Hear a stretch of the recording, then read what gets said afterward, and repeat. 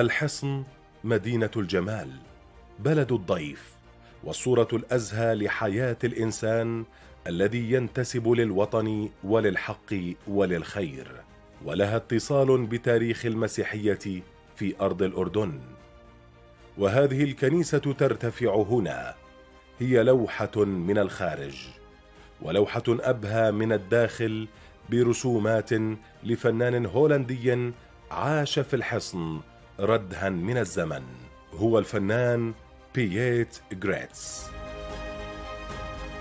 في ذلك الزمان في 1875 حاولوا طائفة اللاتين إنهم يبنوا كنيسة إلا أنه سوء الحال الاقتصادي منعهم من تأسيسها إلى سنة 1885 في 1885 بدأ البناء.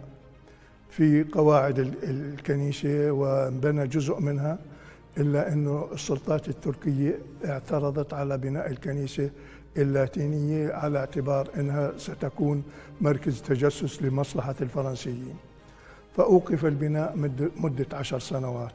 بعد عشر, بعد عشر سنوات باشروا بالبناء في 1800 1900 وانتهى بناء الكنيسة في 1906 آه هذه الكنيسة آه رأس مال البناء تبعها كان من هولندا من متبرع هولندي.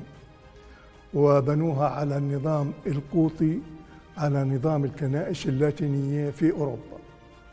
آه الآن كانت مساحة الكنيسة كافية للمسيحيين بذاك الوقت لكنها للأسف بالوقت الحاضر ضاقت بالمصلين. ففي المناسبات في الأعراس وفي الأتراح كانت معظم المصلين يكونوا خارج الكنيسة.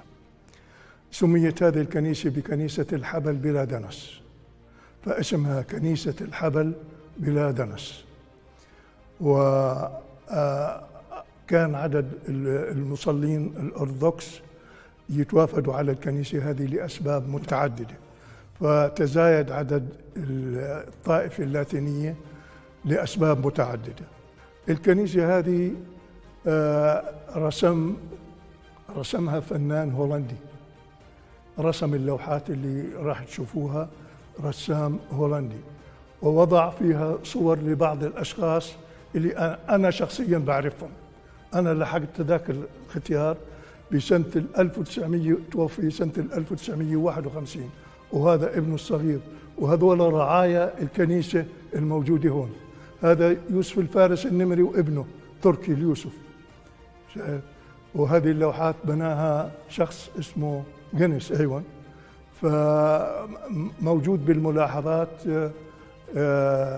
ملاحظات الكنيسة وسجلات الكنيسة عن تاريخ المسيحيين والسجلات الموجودة عند الكاهن تسجل من 1895 للآن. المواليد وتواريخهم وعماميدهم وتسجيلاتهم وكل تفاصيلهم موجودة لدرجة إنه اللي ما بنعرفوش إحنا الأهالي يعني نسأل أباتنا يقول لك ارجع للخوري يفتح السجل ويراجع كافة المعلومات عن ممتلكات الأراضي وممتلكات اسم الشخص وتاريخ ميلاده وتاريخ تعميده.